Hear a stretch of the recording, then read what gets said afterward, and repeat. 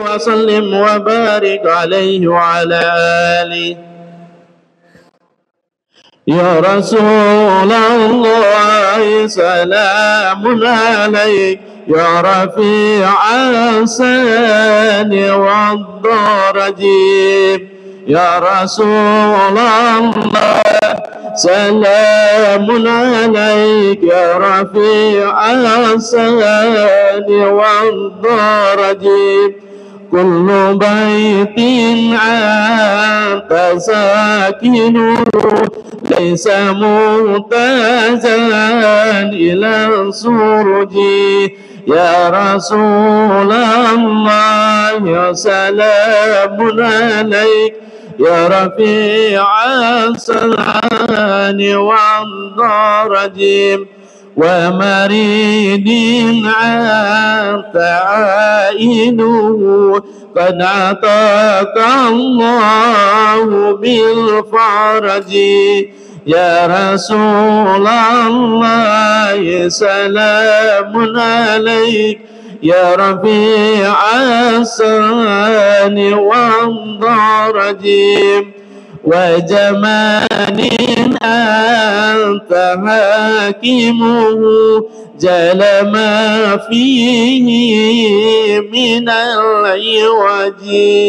يا رسول الله سلام عليك يا رفيع السان والدرج وجهك الميمون حجتنا يوم تأتي الناس بالهجج يا رسول الله سلام عليك.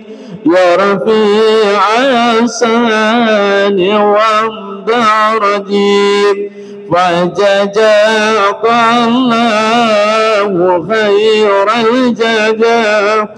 يا منير الكون بالبلد. يا رسول الله سلام عليك. يا رفيع السان والدرج. كل بيت فجزاك الله خير الجزاء. يا منير الكون بالبلد. يا رسول الله سلام عليك. يا رفيع السان والدرج كل يوم نار تجي فرجا. رب عاجل منك بالفرج. يا رسول الله سلام عليك. يا رفيع السان والدرج رب فانفعنا ببركتهم. وادنا الحسنى بحرمتهم. يا رسول الله سلام عليك. يا رفيع السان والدرج وأميتنا في طريقتهم ومعافاة من الفتن. يا رسول الله سلام عليك. يا رفيع الأسان والضرج اللهم صل وسلم وبارك عليه وعلى آله.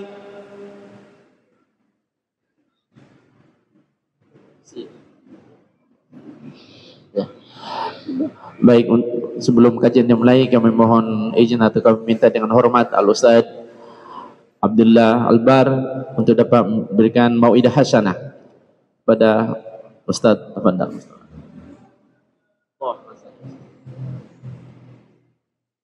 Bismillahirrahmanirrahim. Assalamualaikum warahmatullahi wabarakatuh. Rabbil alamin wassalatu wassalamu ala sayyidil mursalin wa ala alihi wa sahbihi ajma'in amma ba'du.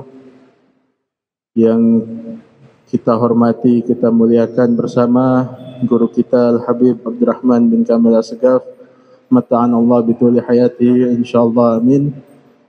Yang sama-sama kita hormati juga para pengurus Masjid Al-Muttaqin mobil khusus kepada Imam Nonci semoga beliau selalu dapat menuntun kita dalam kebaikan dalam beribadah kepada Allah Subhanahu wa taala.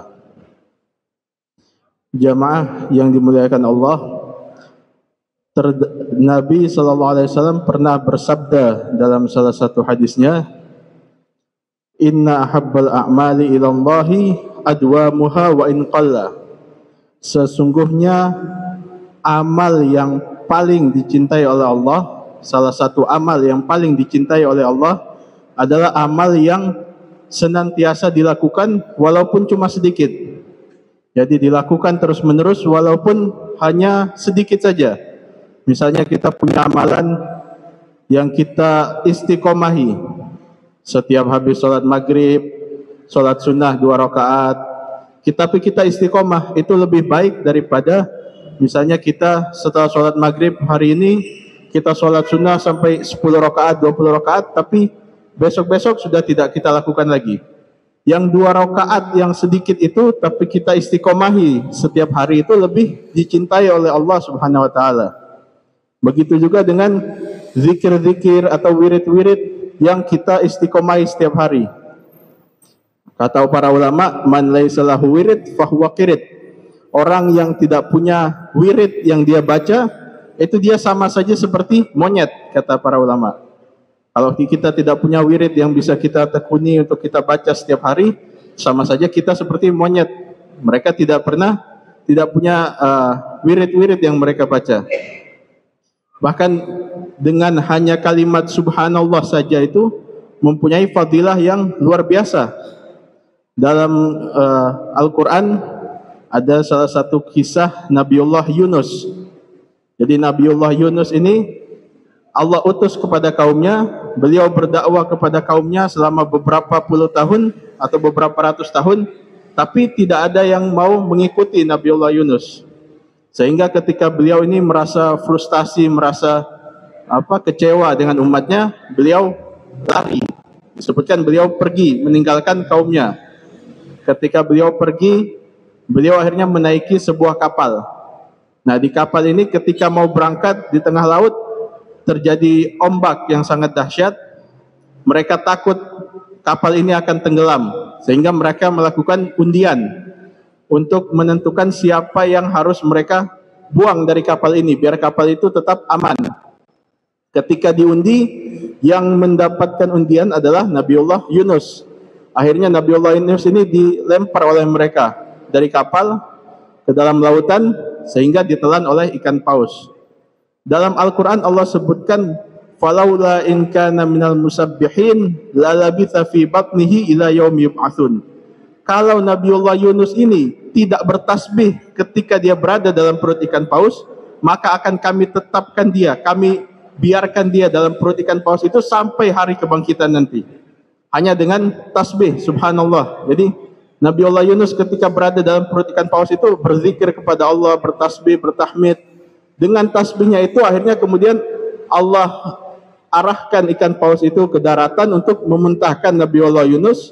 Kemudian Nabi Allah Yunus ini setelah keluar dari perut ikan paus, Allah utus ke umat yang lebih baik yang menerima dakwah beliau sehingga beliau berdakwah kembali kepada umatnya. Itu berkat dari tasbih saja. Nabi Allah Yunus disebutkan dalam Al-Quran bertasbih. Falaula in kana minal musabbihin. Nah, jadi amal-amal zikir-zikir kita itu semua punya keutamaan. Apalagi kalau kita istiqomahi setiap hari, meskipun cuma sedikit. Misalnya ada amalan yang biasa dilakukan setiap selesai sholat, bersolawat kepada Nabi 10 kali, Allahumma salli ala Sayyidina Muhammad wa ala Sayyidina Muhammad, Kemudian dilanjutkan dengan uh, la ilaha illallah Muhammad uh, ada 10 kali kemudian dilanjutkan dengan zikir-zikir lainnya. itu kita tekuni setiap hari walaupun hanya 10 kali setiap selesai sholat itu sudah menjadi hal yang sangat bagus. Ulama mengatakan al istiqomah khairun min al fikaramah istiqomah itu lebih baik daripada seribu karamat seribu keramat. Karena istiqomah ini sangat penting.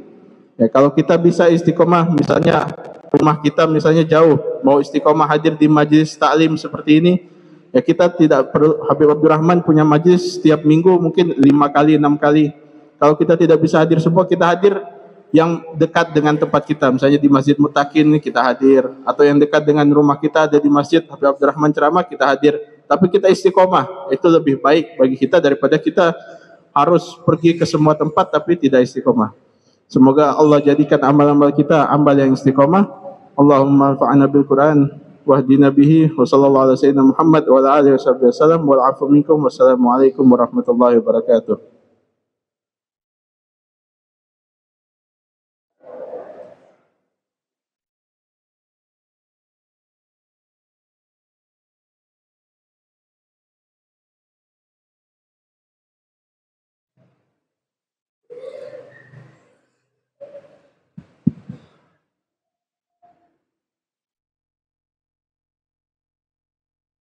بسم الله إلى رسولنا وحبيبنا وشفينا رسول الله محمد بن عبد الله وعلى آله وأصحابه وأزواجه وذريته بيته أجمعين. وإلى حضرة النبي محمد صلى الله عليه وسلم الفاتحة أعوذ بالله. صلاة عليهم ولا الضالين السلام عليكم ورحمة الله وبركاته. الحمد لله الحمد لله القوي سلطانه الواضح برهانه المبسوط في الوجود كرمه وإحسانه تعالى مجده وعظم شأنه خلق خلق لحكمة وطاع عليها علمه وبسط له من فائد المنة ما جرت به في أكداره الكسمة. أشهد أن لا إله إلا الله وحده لا شريك له وأشهد أن سيدنا محمدا عبده ورسوله لا نبي بعده. اللهم صل وسلم على نبينا محمد وعلى آله وأصحابه ومن تبعهم بإحسان إلى يوم القيامة. أما بعد سبحانك لا علم لنا إلا ما علمتنا إنك أنت العليم الحكيم. ربي اشرح لي صدري ويسر لي أمري واحلل عقدة من لساني يفقه قولي وسدد لساني واهدي قلبي بحق سيدنا محمد صلى الله عليه وآله وبارك وسلم. يا من هو في علوه كائن يا من هو في فعل حميد يا من هو في مجده متين. اللهم أكرمنا بنور الفهم وأخرجنا من ظلمات الوهم وارزقنا فهم النبيين. وحفظ المرسلين وإلهام ملائكة المقربين. ربنا زدنا علما وفهما وعقلا يا أكرم الأكرمين. بحق سيدنا محمد خاتم الأنبياء والمرسلين. يا رحمن يا رحيم. وصلى الله على سيدنا محمد وعلى آله وصحبه وبارك وسلم. والحمد لله رب العالمين. Yang saya muliakan, saya hormati seluruh pengurus Masjid Al-Muttaqin. Wabil khusus kepada Imam Aminun Albar mata'ana Allah Ta'ala bituli hayatihi wa umrih wa nafa'ana bihi wa bi'ulumihi fid darain yang saya muliakan saya hormati seluruh para habaib adalah Habib Taufik Asagaf dan seluruh para asatis hadirin hadirat yang insyaallah dirahmati Allah Subhanahu wa taala. Qala al-musannif rahimahullah wa radiyallahu ta'ala anhu ورضي الله تعالى عنه وأرضاه ونفعنا به وبعلومه وأمدنا بأسراره وأعادنا من بركاته في الدارين. رضي الله عنكم. والقرآن حجة لك أي يحاجج عنك ويشهد لك بالخير في المواضع التي تسأل فيها كالقبر والموقف. Al-Quran adalah penolongmu menjadi hujjah bagimu dan menjadi saksi bagimu dengan kebaikan di tempat-tempat yang kelak akan ditanya tentang seluruh amalnya. Fiha kal qabri wal mauqif. Seperti di dalam kuburan. Di dalam kuburan pun di ditanya setiap umat terlebih khusus kita umat Islam akan ditanya ma kita buka? Apa kitab sucimu? Maka dijawab Al-Quran. Jawaban itu yang keluar Al-Quran itu adalah jawaban yang tidak bisa kita ucapkan dengan lisan tapi jawaban itu yang keluar sebab kita sering membaca Al-Quran maka akan keluar jawaban tersebut. Jadi bukan dihafal. Ditanya, ma kita buka di dalam kubur. Apa kitab sucimu? Maka sebab kita banyak membaca Al-Quran, lisan ini secara otomatis akan menjawab Al-Quran. Tapi kalau kita tidak pernah membaca, sekalipun kosakata Al-Quran kita hafal, tidak akan bisa.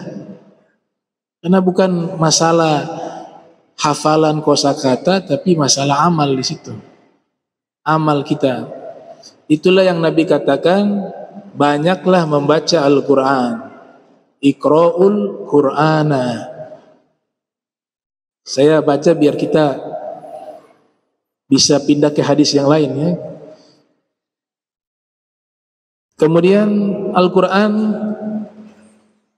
juga akan ditanya di Mauqif. Mauqif tempat perhimpunan seluruh manusia di satu tempat yang namanya Al-Mahsyar. Wagal ba'dul ulama sebagian ulama mengatakan mahsyar itu adalah satu tempat di bumi tapi diganti dengan bumi yang baru. Di dalam Al-Quran disebut yauma tubaddalul ardu diganti dengan bumi yang baru di hari itu. Wassamawat dan juga lah langit.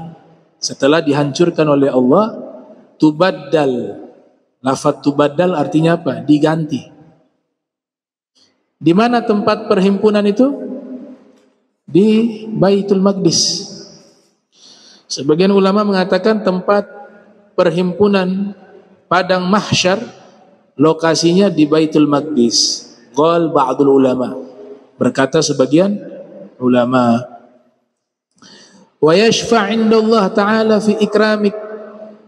Dan Al-Qur'an juga memberikan pertolongan di sisi Allah kepada orang yang selalu memuliakan dan membaca Al-Quran dan mengamalkan Al-Quran sebagai bentuk memuliakan orang tersebut. Hadza in amil tabihi dengan syarat diamalkan isi Al-Quran. Dijadikan Al-Quran sebagai pedoman hidupnya. Bi'an imtathalta awamirah dengan cara melaksanakan seluruh perintah-perintahnya. Wajtanabta nawahiyah dan kamu berusaha menjauhi seluruh larangan-larangannya. Imtathalta awamirah kamu melaksanakan perintahnya dan kamu menjauhi seluruh larangannya. Berarti berbicara apa di sini? Hukum kemarin saya katakan kalau hukum kita belajar di ilmu fikih. Di ilmu hukum sah, syariat. Di situ kita bisa tahu mana yang wajib. Yang wajib kita tunaikan, mana yang sunnah, mana yang mubah, mana yang makruh, mana yang haram, mana yang sah, mana yang batil. Wa ta'azza bi Dan setiap kali membaca Al-Qur'an, jika di ayat tersebut isinya adalah nasihat, jadikanlah itu nasihat untuk dirinya, untuk ditunaikan. wahtadaita bi anwarihi dan kau mendapatkan petunjuk mengambil petunjuk dari cahaya-cahaya Al-Qur'an. Au hujjatun 'alaika fi tilkal mawadi' in a'radta anhu wa lam ta'mal bih fayukhasimuka wa yashhadu 'alaika bi annaka mukhalifun lahu wa mudayyi'un hugugah. Tapi jika Al-Qur'an itu diabaikan dia menjadi apa? Penuntutmu yang akan memberatkan engkau di tempat-tempat tersebut. Baik itu di kuburan maupun di mahsyar.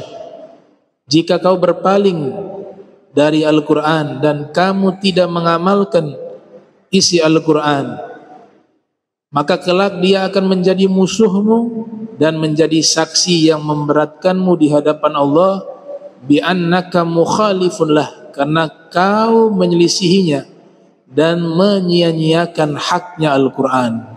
Pertemuan lalu saya sudah bahas hak-hak Al-Quran. Ya. مهاججة القرآن عن أهله. وقد روى عمرو بن شعيب عن أبيه وعن وعن جده عن أبيه عن جده عن النبي صلى الله عليه وآله وسلم أنه قال يمثل القرآن يوم القيامة رجلا. Diriwayatkan dari عمرو بن شعيب القرآن akan dijadikan layaknya seorang laki-laki di hari kiamat. Jadi Allah rubah Al-Quran berwujud seorang laki-laki. Ya, yumathal, yumathal diserupakan Al-Quran yaumal kiamati di hari kiamat rojula. Jadi Al-Quran Allah rubah menjadi sosok seorang laki-laki. Fayu'ta birojuli qad hamalah fakhalafa amrah. Kemudian dibawa seorang seorang laki-laki yang dahulu di dunia dia menghafal Al-Quran. Hamalah, hamalah artinya menghafal. Membawa itu tapi maknanya di situ adalah menghafal. Fakhalafa amrah. Tapi menyelisihi ajaran Al-Qur'an. Dia hanya sekedar menghafal Al-Qur'an 30 juz. Tapi dia langgar dengan maksiat. Dia langgar aturan Al-Qur'an, etika Al-Qur'an, adab terhadap Al-Qur'an, khalafah, dilanggar. fayumathalu lahu khosman fayaqul ya rabbi qad tahu iyaya fabi'sa hamilun ta'adda hududi maka Al-Quran itu berubah menjadi apa? menjadi musuhnya jadi sosok laki-laki tapi menjadi musuhnya dan Al-Quran berkata wahai Rabb kau izinkan dia menghafal diriku kata Al-Quran. Sungguh dia adalah penghafal Al-Quran yang paling buruk. Ta'adda hududi, dia langgar seluruh aturan-aturanku. Dari hadis ini ada satu informasi bahwa ada penghafal Al-Quran yang berada di dalam neraka.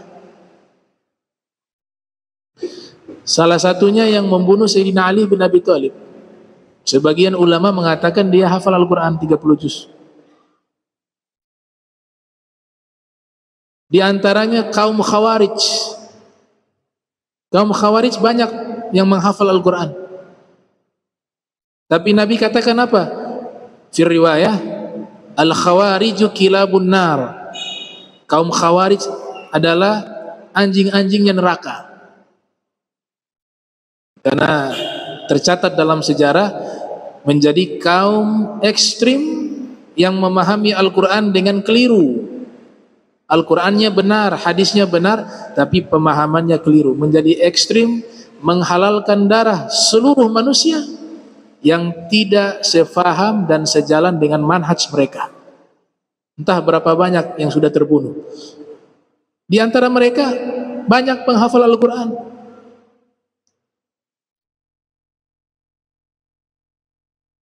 Tapi disebut khususia Al-Quran itu tetap Allah jadikan kemuliaan sekalipun mereka di dalam neraka bagian kepala mereka tidak terbakar. Tapi seluruh tubuh terbakar. Allah Ta'ala berfirman kepada malaikat ketika malaikat bertanya ya Rob ini satu makhluk satu manusia diazab seluruh tubuhnya terbakar. Tapi kepalanya tidak terbakar. Maka Allah Ta'ala berfirman Bagaimana mungkin dia terbakar bagian kepalanya wa kalami fi ra'sihi sedangkan firmanku ada dalam kepalanya. Gitu. Jadi penghafal Al-Quran yang tidak melaksanakan hukum Al-Quran atau menjadi ekstrim karena salah paham terhadap ayat-ayat dan firman-firman di dalam Al-Quran dan melakukan tindakan-tindakan yang tidak sesuai dengan aturan agama, maka mereka lah disebut sebagai penghafal Al-Quran kiasan. Imam Haddad mengatakan penghafal Al-Quran ada dua golongan. Golongan pertama namanya penghafal Al-Quran hakiki. Penghafal Al-Quran yang sebenar-benarnya. Siapa mereka? Mereka hafal Al-Quran 30 juz. Dan mereka mengamalkan isi Al-Quran dengan benar. Dan menjaga adab terhadap Al-Quran. Dan memuliakan Al-Quran. Mereka inilah penghafal Al-Quran yang sesungguhnya. Yang kedua, penghafal Al-Quran kiasan, majazi. Siapa mereka? hafal Al-Quran 30 juz tapi melakukan banyak pelanggaran-pelanggaran dari aturan-aturan Al-Quran. Tidak menjaga etika terhadap Al-Quran. Tidak beradab kepada Al-Quran. Tidak mengagungkan Al-Quran. Imam Haddad mengatakan itu adalah penghafal Al-Quran kiasan. Nah maka di sini dikatakan Al-Quran itu berbicara benar-benar berbicara dia bagaikan CCTV yang merekam semua perbuatan kita. Dia mengatakan fabi sahamilun ta'adda hududi. Sungguh seburuk-buruknya penghafal Al-Qur'an yang dia melanggar aturan-aturanku. Seburuk-buruknya penghafal Al-Qur'an. Ada mazhab mazhab Imam Syatibi namanya. Imam Syatibi ahli Al-Qur'an bahkan memiliki kiroah. Kiroah tersendiri namanya al kiroah syatibiyah. Tunanetra. Tapi ulama besar di bidang Al-Quran. Masuk biografi beliau di kitab Nuqatul Himyan fi Nuqatil Umyan karya Imam As-Sofadi yang membahas biografi ulama-ulama tunanetra Beliau memiliki guru. Di antara guru-guru beliau ada yang pakar bahkan bisa dikatakan hidup 24 jam dengan Al-Quran. Khatam setiap hari. Dari kecil sampai masa tua. Tidak ada satu hari terlewat melainkan dia khatam satu kali Al-Quran. Nah, di antara sekelompok ulama saya katakan sekelompok berarti tidak semua. Ulama Al-Quran. Termasuk salah satu guru saya ketika belajar Al-Quran belajar kiroah belajar tajwid tahsin kurang lebih satu tahun saya diperintahkan menghafal Al-Quran tapi jangan sampai 30 juz dikurangi 25 juz. Bertanya, saya bertanya, kenapa tidak genapkan 30 juz? Menurut guru-gurunya Imam Syatibi, sebagian guru-gurunya, orang yang sudah menghafal Al-Quran 30 juz, hidupnya berubah total. Orang awam yang tidak menghafal Al-Quran 30 juz, ketika melakukan dosa, catatannya itu satu keburukan. Catatannya, catatan amal satu keburukan. Tapi kalau sudah hafal Al-Quran 30 juz, kemudian maksiat, sekali maksiat dilipat gandakan entah berapa banyak. Karena dia sedang membawa firman Allah yang kamil, sempurna 30 juz. Itu yang pertama. Jadi kalau buat dosa, double dosa. Yang kedua, kalau sudah menghafal Al-Quran 30 juz, malas mengulang-ulang hafalannya 30 juz, ada satu dua ayat yang dia lupa, kena dosa. Ini mazhab mereka nih, sebagian nih. Kalau sudah 30 juz. Jadi kerjaannya harus murojaah, mengulang hafalanmu. Ada yang lupa, kena dosa. Yang ketiga, dituntut orang yang menghafal Al-Quran selalu dalam keadaan suci. Berat ini. Yang keempat, penghafal Al-Quran harus selalu menjaga auratnya. Tidak boleh terbuka aurat kecuali dalam keadaan darurat dan memang harus buka aurat. Saya di toilet dan seterusnya. Sekalipun adab ulama-ulama sufi, sekalipun mandi aurat tidak terbuka, mereka punya kain khusus yang menutup aurat. Dan yang kelima, prioritas waktu yang paling utama untuk menjaga ilmu harus yang nomor satu menjaga hafalan Al-Quran. Ini lima hal ini sudah cukup memberatkan. Dosanya double, hafalannya tidak boleh lupa, harus punya adab, jaga wudhu, tutup aurat. Maka di situ guru saya mengatakan 25 juz saja. Mungkin kalau sudah hafal 30 juz sudah gak bisa ngajar saya. Akan habis dengan mengulang-mengulang hafalan Al-Quran. Dari 25 juz itu saya berhenti. Hafal hanya 25 juz. Dialihkan ke hadis Nabi. Ya sekian. Dan di beberapa kitab tafsir. Artinya apa? Tidak sembarangan ini penghafal Al-Quran. Tidak main-main. Itu. Tapi kalau sudah bisa menjaga lima hal ini dan dia seorang penghafal Al-Quran, Nabi katakan apa? Kalau ada yang menyatakan sesuatu lebih mulia dari penghafal Al-Quran, maka dia berdusta, kata Rasulullah. Tapi dia jaga lima hal ini. Imam Syatibi itu pakar Al-Quran tunanetra. Kita dikasih sehat mata, pakar handphone. Tahu ini Instagram, tahu ini macam-macam.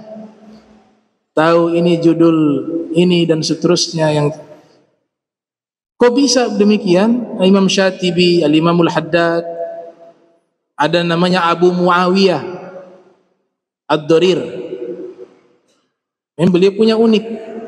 Beliau doa kepada Allah, beliau mata buta juga tunanetra. Tapi punya doa, ya Allah, kembalikan penglihatan saya ketika membaca Al-Quran. Tapi selesai baca Al-Quran, kembali lagi buta, saya terima itu ya Rabb. Allah kasih keramat, ketika buka Al-Quran matanya bisa melihat. Dia baca Al-Quran. Selesai baca Al-Quran, kembali buta. Abu Muawiyah Ad-Durir. Nah, di sini dikatakan yang melanggar hukum-hukum Al-Qur'an maka dia adalah seburuk-buruknya penghafal Al-Qur'an. Ya. Wa dhay'a faraidi wa raqiba ma'asiyati wa taraka ta'ati. Siapa mereka seburuk-buruknya penghafal Al-Qur'an yang mereka menghafal Al-Qur'an tapi kewajiban-kewajiban ditinggalkan maksiat dilakukan, ketaatan diabaikan. Fama yazalu yagzifu alaihi bil hujaji hatta yuqala lahu sya'nuka bihi fayakhuzu biyadihi fama yursilu hatta yakubbahu ala min kharihi finnar. Atau man kharihi finnar. Maka Al-Quran itu dia berhujjah di hadapan ini orang walaupun dia hafal Al-Quran dia meninggalkan kewajiban dia melakukan maksiat dia meninggalkan taat. Sampai akhirnya orang tersebut Allah Ta'ala nyatakan kepada Al-Quran silakan kau bawa dia. Jadi Al-Quran benar-benar menjadi sosok manusia sosok laki-laki yang akan membawa dia menarik dia hingga masuk ke dalam neraka. Pertemuan lalu saya katakan hadis yang Nabi katakan man ja'alahu amamah qadahu ilal jannah wa man ja'alahu khalfa zuhrihi saqahu ilan nar. Ini bukan majasi, bukan, bukan kiasan, tapi benar-benar hakiki. Siapa yang jadikan Al-Quran sebagai imamnya, Al-Quran akan membawa dia ke surga. Kalimat membawa dia ke surga itu bukan bahasa kiasan. Memang Al-Quran jadi sosok seorang laki-laki yang akan membawa dia ke dalam surga. Sebaliknya juga, Al-Quran menjadi sosok musuhnya, sosok laki-laki yang menjadi musuhnya di yaumil kiamah dan Al-Quran itu sendiri yang akan menariknya masuk ke dalam neraka. Jadi bahasanya bukan majasi tapi hakiki. Qala wa yu'ta bi hamalahu wa amrah. Adapun dibawa seorang laki-laki yang soleh. Laki yang soleh ini dia menghafal Al-Quran dan dia menjaga perintah Al-Quran. Fayumathalu lahu khosman dunah. Liyamna'an fayaquli rabbi hamal tau iyaya fa khairu hamilin hafidha hududi. Al-Qur'annya mengatakan ya Rob ini hambamu penghafal Al-Quran. Dia melaksanakan seluruh perintahmu melaksanakan perintah-perintah yang ada dalam Al-Quran maka sungguh dia adalah sebaik-baiknya penghafal Al-Quran hafiza hududi yang selalu menjaga hukum-hukumku kata Al-Quran. Wa amila faraidi dan mengamalkan hal-hal atau perintah-perintah yang wajib di dalam Al-Quran. Wajtanaba ma'asiyati dan dia menjauhi seluruh maksiat. Wattaba'ah ta'ati dan dia taat mengikuti ketaatan yang diperintahkan di dalam Al-Quran fama yazalu yakzifu lahu bil hujaji hatta yugalu lahu sya'nuka bihi fayakhudhu biyadihi fama yursilu hatta yulbisahu hullatal istibraq wa yuqidu alaihi wa yuqad alaihi tajul tajul muluk tajul malik atau tajul muluk wa yasqihi ka'sal khamri. Maka orang ini dibawa oleh Al-Quran Kemudian Al-Quran memasukkan dia ke dalam surga. Dan Al-Quran tersebut memakaikan dia pakaian sutra. Dan yuqad alaihi tajul mulki. Dan diletakkan mahkota raja di atas kepalanya. Wa yasqihi ka'sal khamri. Dan diberikan diberikan secangkir atau segelas khomar di surga kepadanya. Khomar yang di surga gak ada mabuk dan khomarnya jangan dianggap sama seperti khomar di bumi. Ini kaedah ini, kaedah. Semua informasi di dalam Al-Quran dan di dalam hadis jika menyebutkan ada buah-buah surga, buah anggur, ada pohon pisang, ada buah apa lagi? Delima, ada zanzabil, ya, minuman yang dicampur dengan jahe, ada kafur, semua ini bahasa-bahasa yang ada di dalam kehidupan dunia, yang ada di dunia. Ketika ini dijadikan informasi bahwa benda-benda ini ada di surga, itu beda, tidak sama. Allah hanya meminjam kosakata. Ya. Surahnya secara lafat sama, tapi hakikat bentuk aslinya tidak sama. Kenapa yang dipinjam kosakata itu? Karena kita belum pernah masuk surga, belum tahu surga itu seperti apa. Gak ada benda surga yang diturunkan kepada kita kecuali Hajar Aswad. Hajar Aswad dari surga. Kecuali Raudhah, tanah yang menjadi Raudhahnya Nabi di, di Masjid Nabawi. Tapi kalau buah-buahan dan seterusnya tidak ada. Maka Allah meminjam kosakata di dunia sekiranya kita masih memiliki gambaran gambaran bahwa di, di, di surga itu ada buah. Tapi buahnya tidak sama dengan buah yang ada di dunia. Ada anggur tapi anggurnya tidak sama dengan anggur yang ada di dunia. Ada buah delima tapi buah delimanya tidak sama dengan yang di dunia. Hanya meminjam kosakata. Karena Nabi katakan surga itu gak bisa diimajinasi. Imajinasi saja agak mampu. Sahabat bertanya, ya Rasulullah surga itu bagaimana? Karena Nabi sudah pernah masuk. Nabi pernah lihat. Nabi pernah menikmati. Kata Nabi, "Mala ainun ra'at wala udhunun sami'at wala khatar ala qalbil bashar." Surga itu mata ini tidak pernah melihat sesuatu yang seperti surga. Telinga ini tidak pernah mendengar sesuatu yang seperti surga itu. Bahkan hati manusia ketika berimajinasi tidak bisa menggambarkan keindahan surga. Nah, maka karena tidak bisa ya diambil kosakata dipinjam di Al-Quran buah delima disebut buah surga buah anggur, buah tin, buah zaitun zanzabil, jahe kafur juga begitu ya. kafur juga jangan dipahami kafur yang sama gimana minuman pakai kafur kamper. Tapi yang diambil adalah wanginya. Minuman itu dia wa, wangi.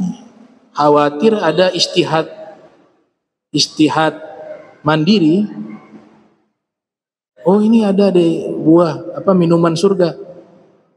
Yashrabuna min ka'sin kana mizazuha kafura. Minuman penghuni surga itu campuran dengan kamper. Hanya dia campur tuh Coba mungkin meninggal keracunan. Kata kafur di situ meminjam apa? Istilah bahwa minuman di surga itu aromanya wangi, baunya harum. Maka Nabi katakan dalam hadis bahwa haudi masiratu syahr telagaku itu perjalanan satu bulan kata Nabi. Ma'uhu abyad minal laban airnya lebih putih dari susu. Warihuhu atyab minal misk. Baunya lebih wangi dari minyak kasturi. Wa kizanuhu kanujumis sama. Dan gelas-gelasnya sebanyak bintang di langit. Siapa yang meminum seteguk tidak akan haus selama-lamanya. Wa an Abdullah bin Mas'ud radhiyallahu taala anhu qala yaji'ul Qur'an yaumal qiyamah fayashfa'u li sahibihi fayakunu qa'idan li sahibihi ilal jannah aw yashhad alaihi fayakun sa'igan lahu ilan nar Al-Quran akan datang di yaumil qiyamah dan memberikan syafa'ah kepada orang yang senang kepada Al-Quran senang membacanya maka kelak Al-Quran itu menjadi penuntunnya hingga ia masuk ke dalam surga atau menjadi saksi yang baik bagi dirinya. Dan siapa yang mengkhianati Al-Quran maka dia akan memberatkan menjadi saksi yang berat baginya dan Al-Quran itu sendiri yang akan menuntunnya hingga masuk ke dalam neraka. Na'udzubillah min dhalik. Wa warad anin Nabi sallallahu alaihi wasallam qala iqra'ul Qur'an wa'malu bih wa la tajfu anhu. Nabi bersabda bacalah Al-Quran dan amalkanlah Al-Quran. Jadi perintahnya ada tambahan di situ, bukan hanya baca tapi ah, amal. Amal soleh ini kalau sempurna syaratnya empat. Ini menurut Imam Muaz dinukil oleh Imam Bagawi dalam tafsir. Al-amalu soleh alladhi fihi arba'atu asya. Amal soleh itu memiliki empat syarat. Yang pertama al-ilmu. Kalau beramal berusaha dulu belajar. Ibadah ini kita harus pelajari. Wudu harus dipelajari.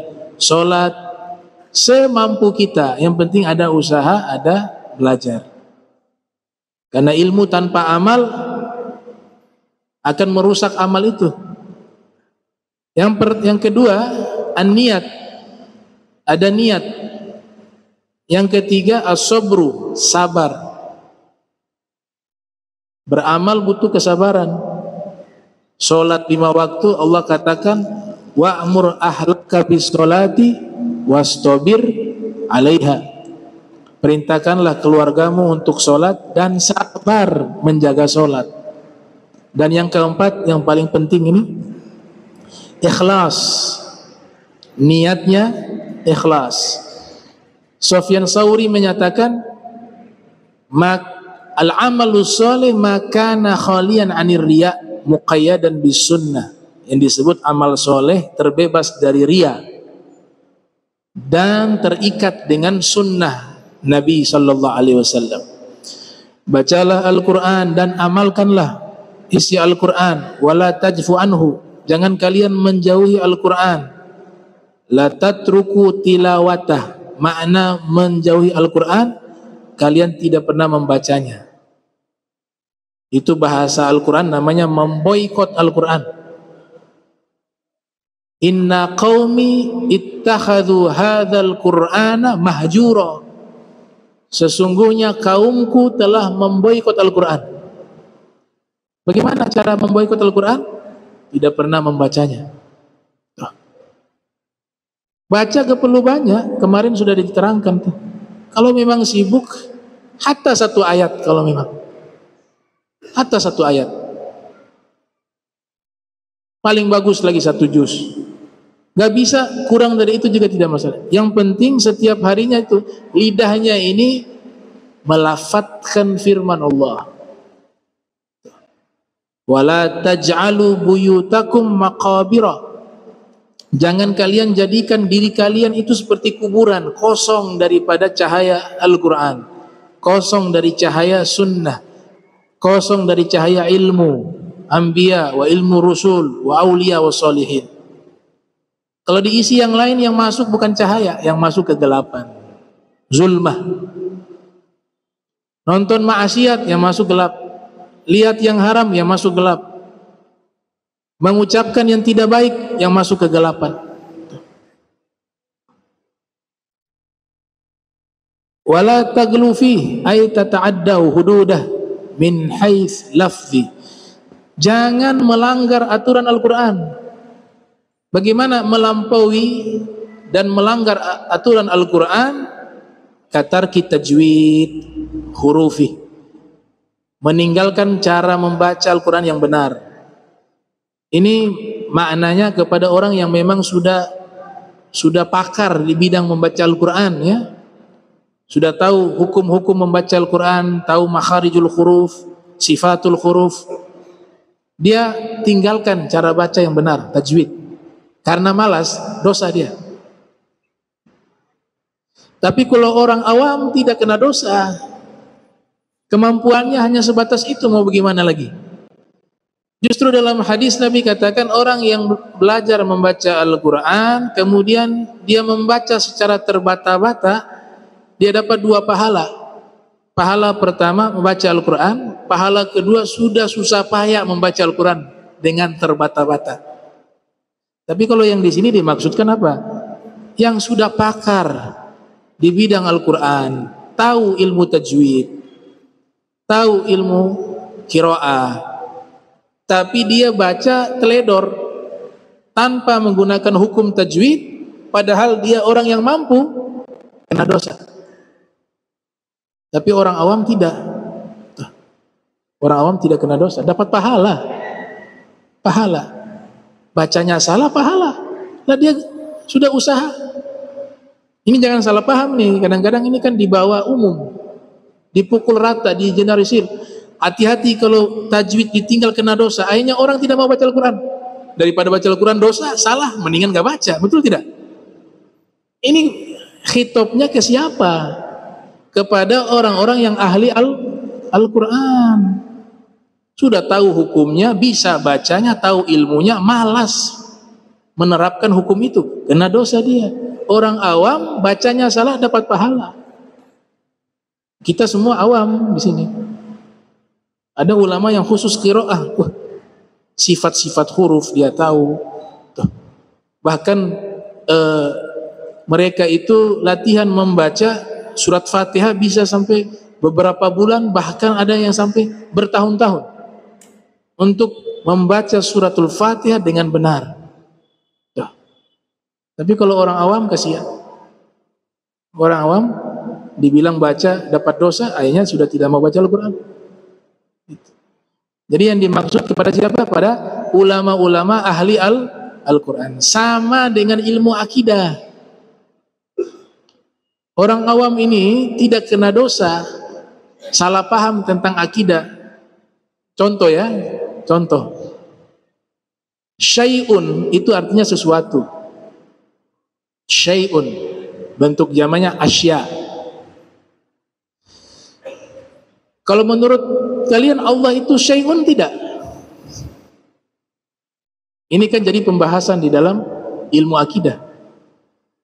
Allah itu syai'un tidak? Pasti dijawab tidak. Tapi kalau akidah ahli sunnah jamaah, Allah itu syai'. Syai' di situ artinya mewujud, bukan sesuatu.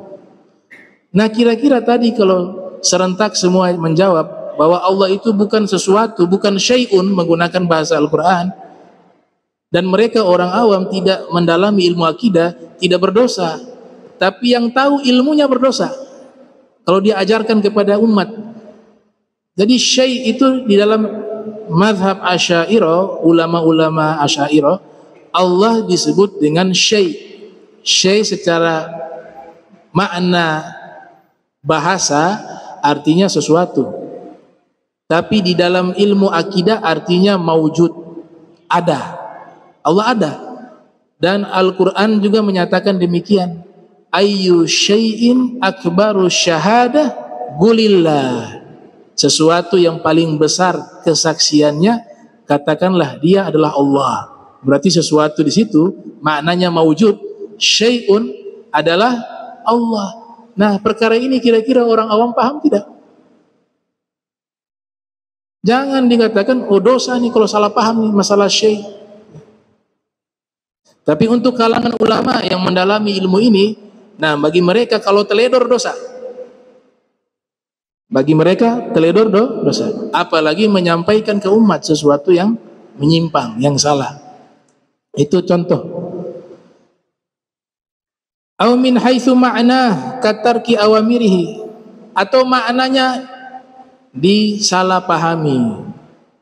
Itu juga kena dosa bagi ulama Ya, maka di sini dianjurkan yang menafsirkan Al-Quran itu tidak boleh langsung menafsirkan tanpa merujuk kepada kitab-kitab tafsir.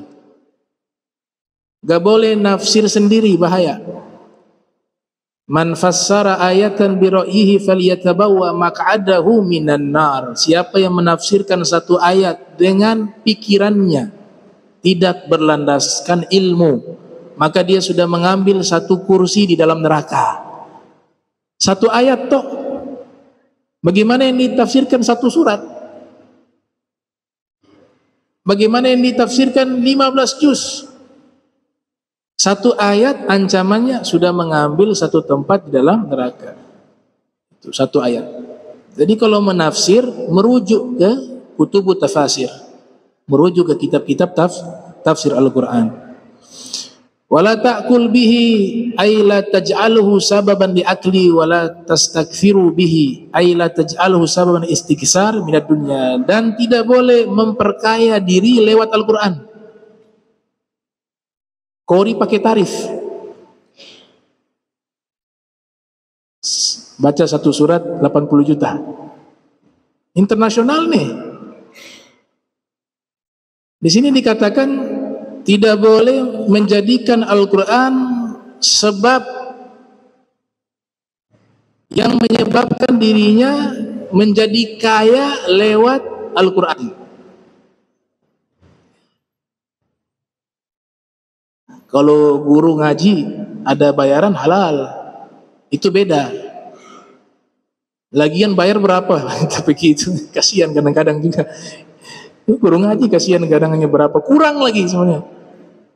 Tapi kalau niatnya jadi satu profesi yang nanti membuat dia kaya lewat Al-Quran, di sini dikatakan hukumnya adalah terlarang. Begitu juga niat belajar Al-Quran, jangan niat belajar Al-Quran hanya ikut lomba. Al-Quran itu niatnya apa? Diamalkan, paham diamalkan. Di Kudus, Situ ada imam besar ahli kiroa Indonesia, Kiai Syarwani, di zaman qadim, di zaman dahulu. Oh itu kiroahnya luar biasa. Ya, pemegang sanat kiroah internasional di zaman itu, salah satunya ulama di Kudus. Kiai Haji Syarwani kalau tidak salah namanya. Itu mereka punya murid, anak, turunan, punya pesantren sampai saat ini syarat masuk ke pesantren itu dia punya syarat gak boleh ikut lomba. Bukan berarti saya mengatakan lomba itu salah tidak. Tergantung niat masing-masing kan tapi mereka masih pegang itu. Kalian belajar kiroah kepada kami belajar Al-Quran. Tapi syaratnya satu kalau sudah jadi ahli Al-Quran gak boleh ikut lomba. Kenapa aturan ini diperlakukan karena tadi menjaga ini. Karena memang ada pernyataan ulama bahwa menjadikan Al-Quran sebagai sebab duniawi hukumnya haram. Apalagi sampai membuat dirinya kaya raya lewat Al-Quran. Tapi kalau yang guru TPQ terima gaji, nggak masalah. Itu dibahas dalam kitab At-Tibyan karya Imam Nawawi yang lahir 631 Hijriah wafat 676 Hijriah. Dan yang diberikan sewajarnya Gala Sahal rahimahullah taala alamatu hubbillah. Al-Imam Sahal menyatakan tanda cintanya Allah kepada hambanya. Yang pertama adalah hubbul Quran. Kalau ada orang cinta Al-Quran itu tanda Allah cinta kepada dia ada beberapa masyaikh kami pribadi jumpai itu. Ya. Itu hidupnya dengan Al-Quran. Secara pribadi ketemu, bahkan tinggal di tempat beliau. Sebelum subuh Al-Quran. Jadi Al-Quran diletakkan di kamar ada, di ruang makan ada, di ruang tamu ada, di ruang keluarga ada. Selesai baca di sini, nanti kalau duduk di situ baca lagi Al-Quran. Tapi dilanjutkan. Sudah ditulis tadi sampai juz berapa. Nanti di ruang tamu duduk ada Al-Quran dilanjutkan lagi. Begitu setiap hari dari subuh. Bangun pagi, waktu asar, ba'da asar, sebelum maghrib, ba'da maghrib. Begitu setiap hari. Aktivitas itu. Pekerjaan tetap secara zohir tidak kelihatan. Tapi kalau buka kulkas lengkap semua. Ada es krim, ada buah-buahan, ada ini semua. Eh, ajib. Semua kue ada. Malah kalau orang kaya punya yang saya buka kosong. Ya kan? Isinya sedikit maksudnya. Tapi beliau hanya sibuk dengan Al-Quran. Kulkasnya penuh ada minuman, ada es krim, ada agar-agar lengkap. Kalau mau ke dapur, ke pasar, nanti istri minta, mau ke pasar. Oh ya, bentar. Ada bantal, di atas ada Al-Quran. Diangkat itu bantal, ambil uang di situ. Ya. Sehari-hari secara zohir yang saya lihat hanya sibuk dengan Al-Quran. Coba praktek coba. Tapi kalau gak yakin juga ya, Artinya apa? Al-Quran itu tanda Allah cinta kepada seorang hamba. Nah sekarang saya bisa paham. Oh ini sudah puluhan tahun amalan ini bukan baru. Bukan baru kemarin, puluhan tahun, begitu. Tandanya Allah cinta kepada hamba tersebut. Sekarang kalau Allah cinta, apa yang tidak mungkin? Allah kalau sudah cinta, tidak ada yang tidak mungkin yarzuku min haitsu la yahtasib yarzuqhu min haitsu la yahtasib Bisa dikasih rizki dari arah yang tidak terduga. Itu bahasa Al-Quran. Kemudian dikatakan sini wa alamati hubbil Quran hubbun Nabi sallallahu alaihi wasallam dan tanda cintanya Al-Quran adalah cinta kepada Nabi Muhammad sallallahu alaihi wasallam. Kalau mau diurut cinta kepada apa terlebih dahulu nih? Mana yang harus kita kenali terlebih dahulu? Mana yang harus kita pelajari terlebih dahulu? Sudah dijawab oleh Sayyidina Ali bin Abi Thalib, "Adibu auladakum bi thalathi khisal." Didik anak kalian dengan tiga perkara. Hubbi nabiyikum wa hubbi ahli baitihi wa Quran atau fi riwayah wa qiraatil Quran. Ini urutannya. Didiklah anak kalian untuk mencintai Nabi Muhammad. Jadi ilmu pertama itu sebenarnya bukan baca Al-Quran. Ilmu pertama yang harus kita kenalkan kepada anak-anak kita adalah pengenalan mereka terhadap Nabi kita Muhammad sallallahu alaihi wasallam. Setelah itu apa yang kedua? Kenali ahlul baitnya Nabi sallallahu alaihi wasallam. Baru terakhir Al-Quran wa qiraatil Quran. Itu urutannya itu, tartibnya. Ini riwayat dari Sayyidina Ali bin Abi Thalib.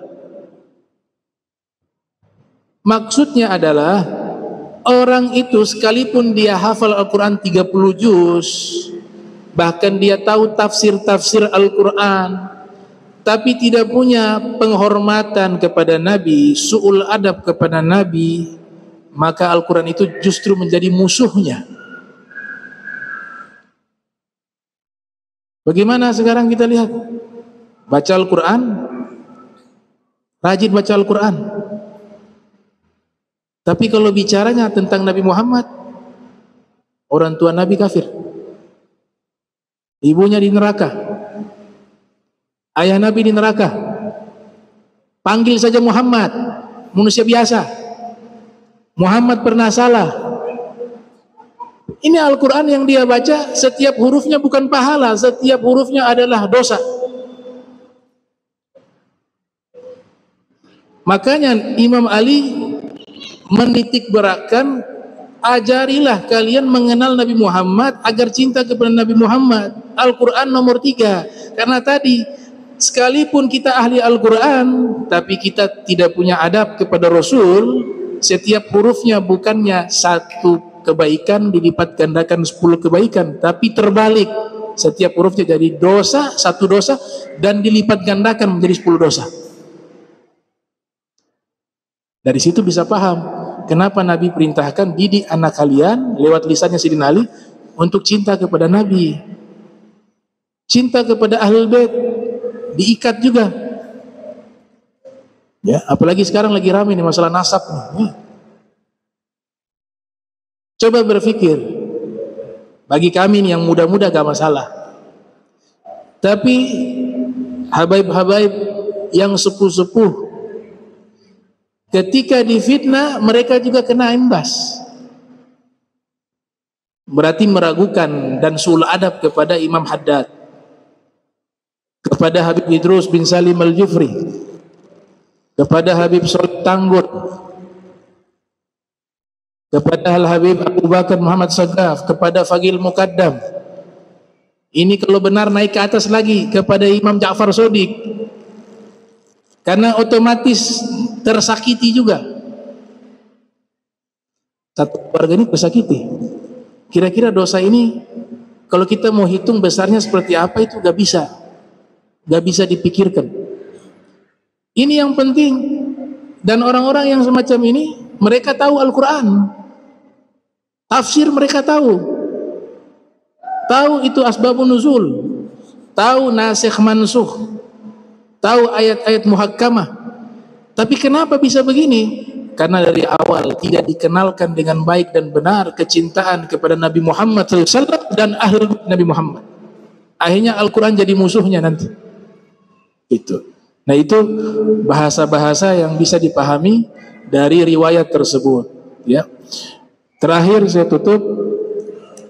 Kemudian dikatakan di sini wa tanda cinta kepada Nabi adalah cinta kepada sunnahnya dan tanda cinta kepada sunnahnya cinta kepada akhirat dan tanda cinta kepada akhirat benci terhadap hal-hal yang melalaikan di dunia dan tanda benci terhadap hal-hal yang melalaikan di dunia Allah yatanawalu minna illa balagah yaitu orang yang menghafal Al-Quran yang menghafal Al-Quran tidak mengambil untung lewat Al-Quran tapi ma yakfihi faqat kalau memang perlu terima uang lewat Al-Quran, sesuatu yang mencukupkan saja.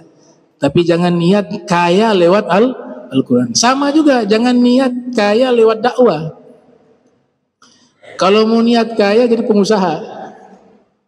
Sama juga, jangan niat populer lewat dakwah. Kalau mau populer lewat jadi apa? Artis tuh. Salah jalur. Itu niat nanti yang merusak semua kita punya amalan tuh. Niat ya makanya Nabi selalu ingatkan innamal a'malu binniyat semua amalan tergantung daripada niat ya. Insyaallah pertemuan berikut kita lanjutkan lagi. Allahumma jam'ana hadza jam'a marhuma wa tafarraqan ba'di tafarrukan ma'zuma wa la tajal minna wa la minna syakila mahruma. Subhanaka bihamdika astaghfiruka wa atubu ilaih wa sallallahu ala sayyidina Muhammad wa ala alihi wa sahbihi wa wasallam wa lafu minkum wassalamu alaikum warahmatullahi wabarakatuh